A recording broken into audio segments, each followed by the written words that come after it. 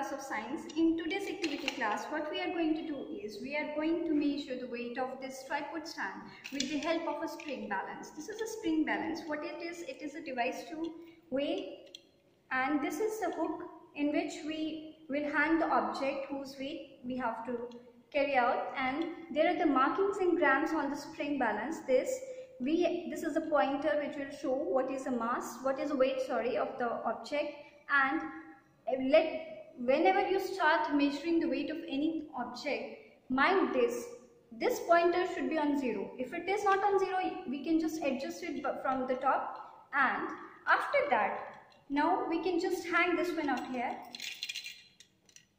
When I am hanging this one you can see that the pointer has changed its position. It is about near about 150 150 means 150 gram is the weight of the tripod stand so this is very easy to use and this is how we can use this tripod stand and the spring balance and you can take any other object which whose weight you want to measure.